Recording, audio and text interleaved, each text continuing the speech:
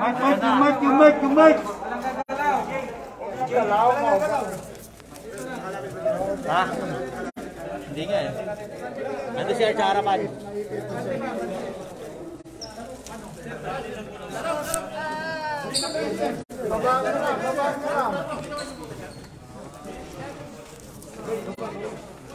Tangan na di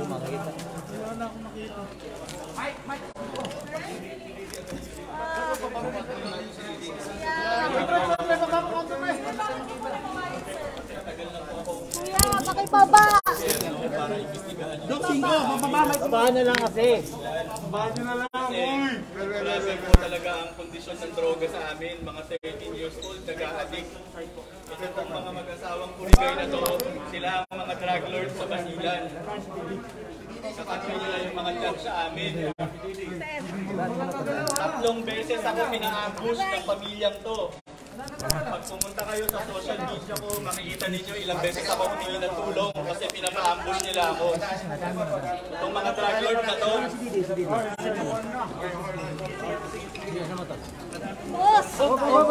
Nanay, balik yung war on drugs. Kasi grabe yung mga drug lords sa Mindanao. Lalo na sa Basilan. Sir, nagsisisi ka ba? Nagsisisi ka ba?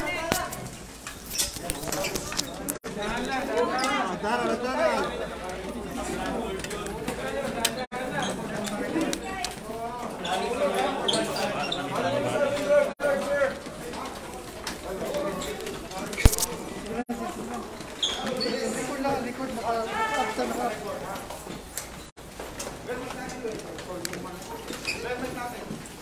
ito, ito, ito. ito.